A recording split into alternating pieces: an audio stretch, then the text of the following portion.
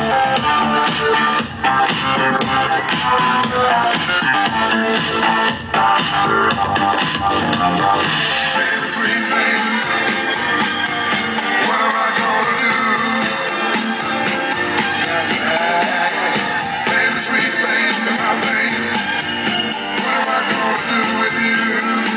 Darwin Deez. This is a song I wrote called Deep Sea Divers. It's May 7th in Liverpool.